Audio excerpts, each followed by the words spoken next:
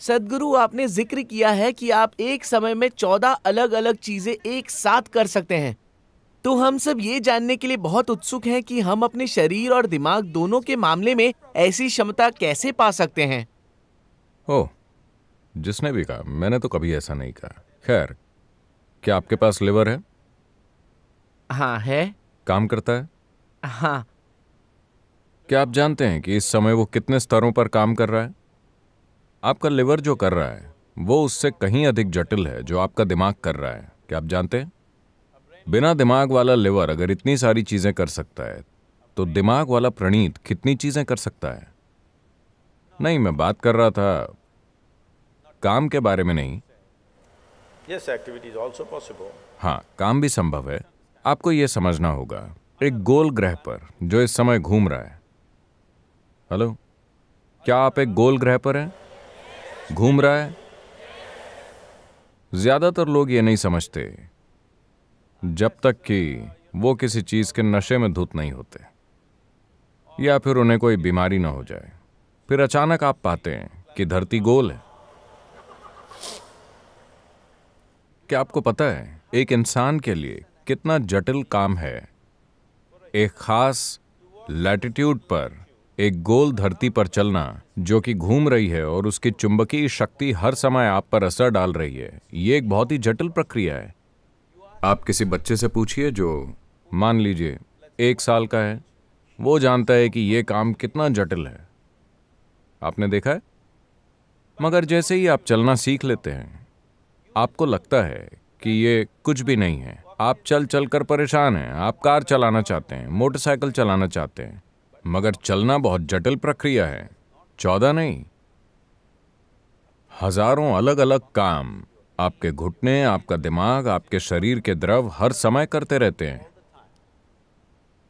अगर आप इन चीज़ों को जागरूकता के साथ कर सकें तो आप हज़ारों चीज़ें करेंगे। आप वैसे भी कर रहे हैं, लेकिन अगर आप इसे जागरूकता के साथ चला सकें तो आप एक साथ हज़ारों चीज़ें कर सकें। So तो मैं बस दिमाग के अलग अलग चैनलों की बात कर रहा था, जिसे वास्तव में आपको चलाना नहीं पड़ता। आपको बस शुरू करके छोड़ देना है, वो अपने आप चलता रहेगा।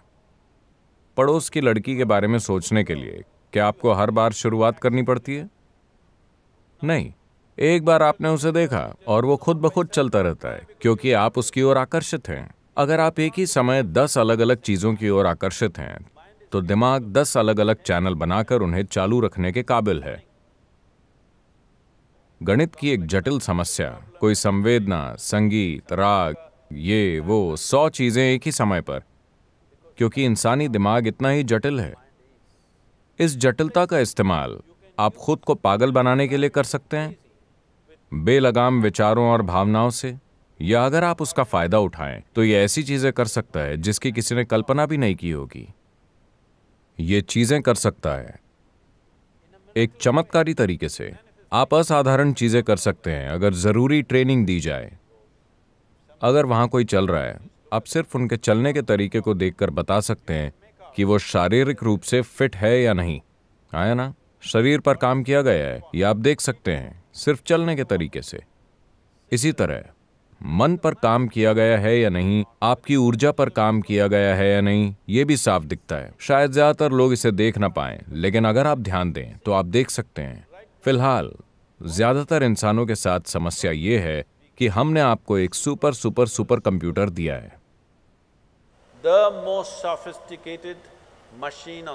इस धरती पर सबसे जटिल मशीन ये मानव तंत्र है। मैं आपसे पूछ रहा हूँ क्या आपने यूज़र्स मैनुअल पढ़ा है? हेलो? नहीं। आप कब पढ़ेंगे? आखिरी दिन? जब मैं ये मूर्खतापूर्ण चीज़ देखता हूँ लोग मरते समय गीता पढ़ते हैं मैं कहता हूँ आप आखिरी दिन यूज़र्स मैनुअल पढ़ रहे हैं। क्या फ़ायदा? अगर आप कोई फ़ोन खरीदते हैं तो आपको पहले तीन दिन में यूज़र्स मैनुअल पढ़ना चाहिए या तीन साल बाद, जब आप उस फ़ोन से छुटकारा पाना चाहते हो? हम्म? आपको उसे पहले तीन दिन के अंदर पढ़ लेना चाहिए। तो मैं आपको कोई ग्रंथ पढ़ने के लिए नहीं कह रहा हूँ। ये एक जीवित ग्रंथ है। क्या आपको सक्षम नहीं होना चाहिए इस ग्रंथ को पढ़ने में? ये समझने में कि इसकी प्रकृति क्या है, इसकी पूर्ण क्षमता क्या है और उसे खोजने में, क्योंकि ये जीवन इसके या उसके बारे में नहीं है। ये जीवन इसके बारे में है।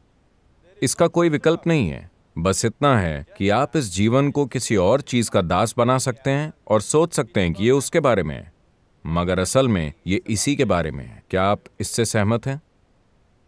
अभी आपको लगता है कि आपका जीवन शिक्षा के बारे में है। नहीं, आपका जीवन इसके बारे में है।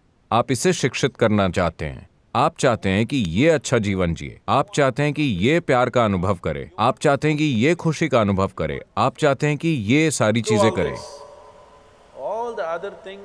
only बाकी सभी चीज़ें सिर्फ़ सहायक हैं। ये असली चीज़ है है ना? तो अगर ये असली चीज़ है तो क्या इस पर थोड़ा ध्यान देना चाहिए? थोड़ा ध्यान देने का अर्थ ये नहीं है कि आप शीशे के आगे खड़े होकर लगातार अपनी त्वचा पर ध्यान देते रहें।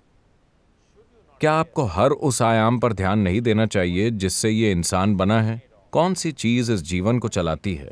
और कैसे? अगर आप समझ लें कि कौन सी चीज़ इसे चलाती है तो आप इसे ज़बरदस्त रफ्तार पर दौड़ा सकते हैं। अगर आप इसे ज़बरदस्त रफ्तार पर दौड़ा सकें तो चौदह चीज़ें क्यों? आप और भी ज़्यादा कर सकते हैं।